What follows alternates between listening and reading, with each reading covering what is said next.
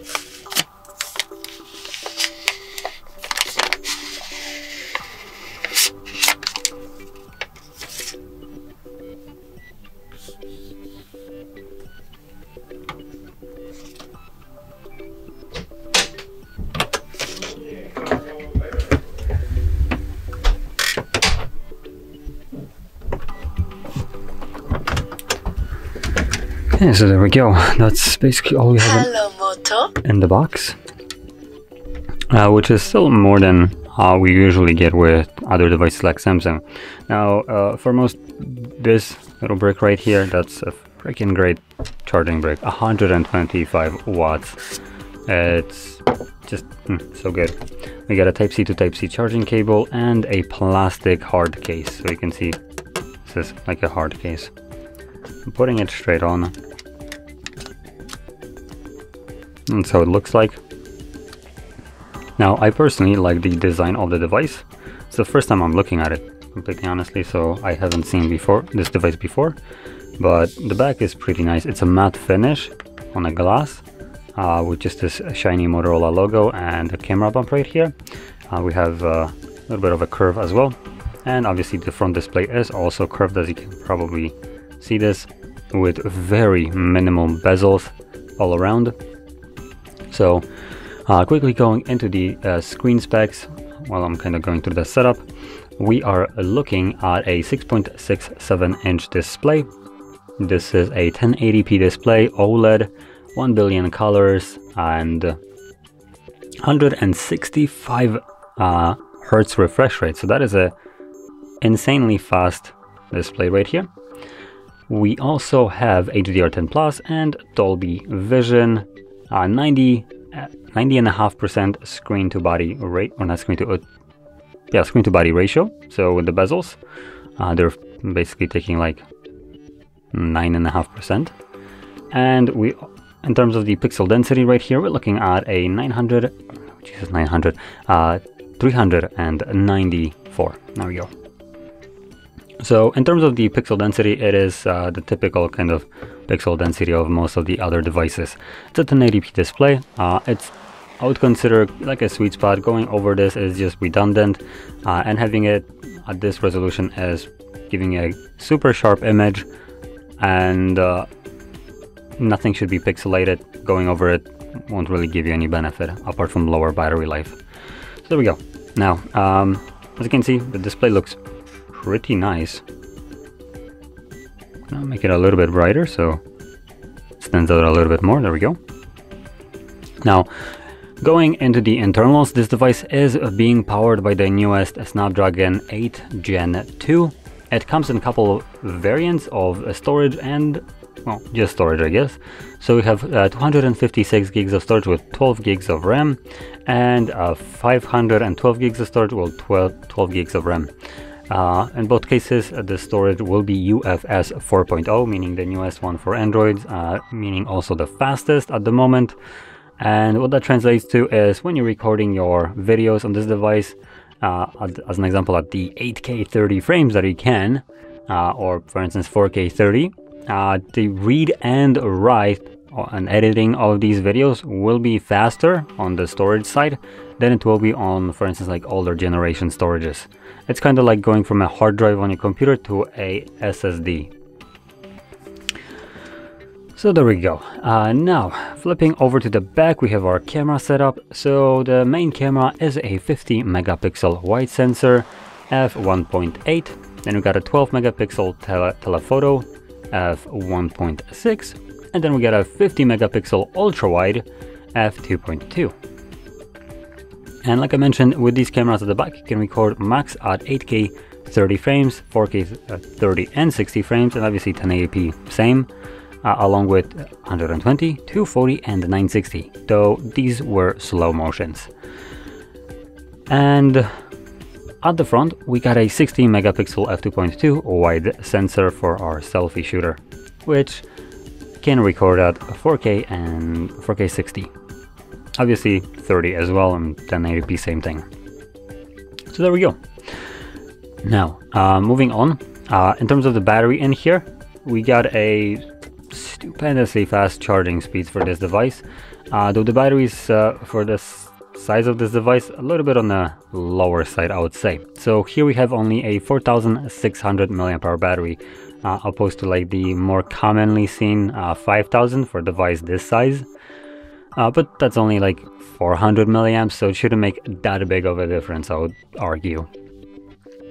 Now, in terms of the advertised charging speeds with this uh, provided charger and the, obviously the phone right here, uh, we are looking at a half of the battery, so 50% in 6 minutes, 100% in 23.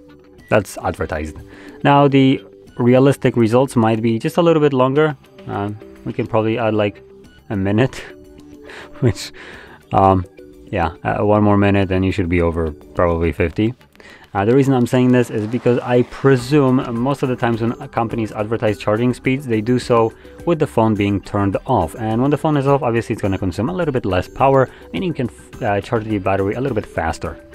So, that, but still, one more minute and charging uh, to kind of counteract that, that's like nothing. So there we go. Now, in terms of uh, peripherals right here uh, and other things that aren't necessarily like seen right off the bat, we have under display fingerprint sensor, we get our power and volume rockers, we got a uh, speaker at the top, microphone for our loudspeaker, uh, we got absolutely nothing on this side apart from just the antennas, but it's not like that's a button or anything. We got more of our speaker grills, charging port, another microphone, and our SIM tray, and I presume this is strictly a SIM tray alone. So let's just get a glance at it. Yep, that's just a SIM. So you won't be able to extend the storage further.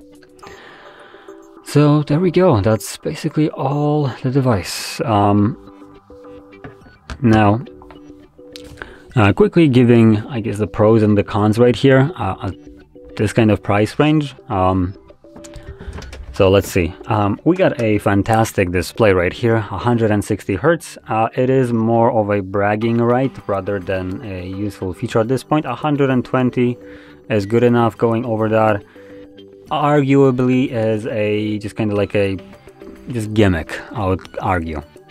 Now, if you can see that difference of like 40 frames, that's great. I personally cannot. Uh, to me, the display is basically as smooth no matter what you do. Um, so that's one. Uh, being an OLED display, meaning that means that the black levels here will be fantastic. So that's another positive right here.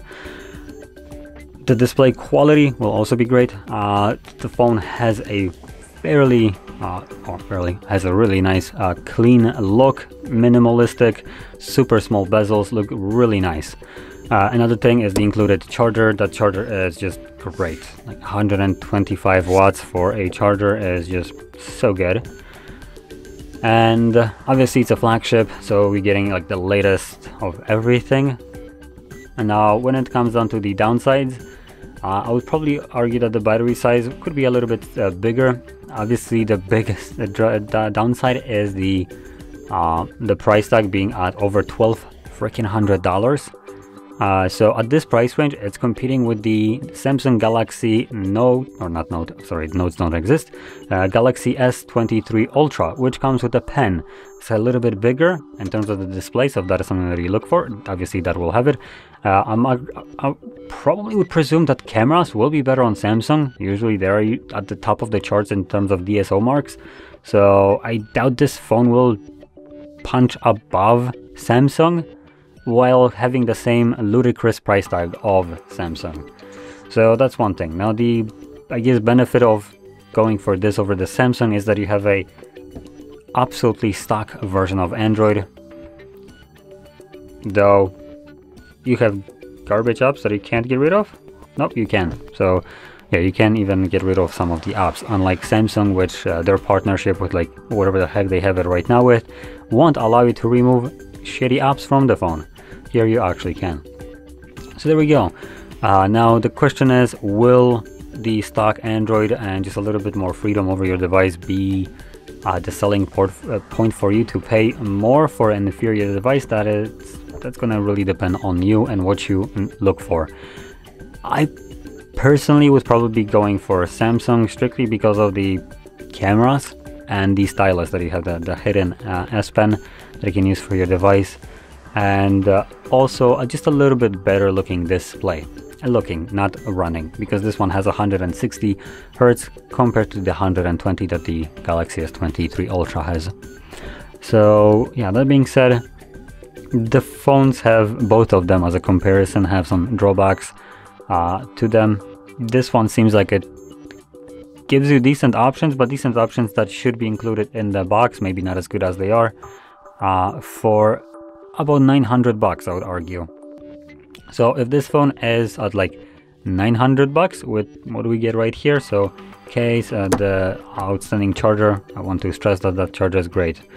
Um, I wouldn't even mind having like half of the charging speed right here and I still would be satisfied. But yeah, at 900 bucks, this phone would be a great buy.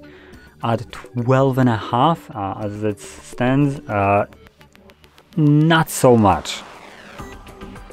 So there we go. Now with this being said, if you found this video helpful, don't forget to hit like, subscribe and thanks for watching.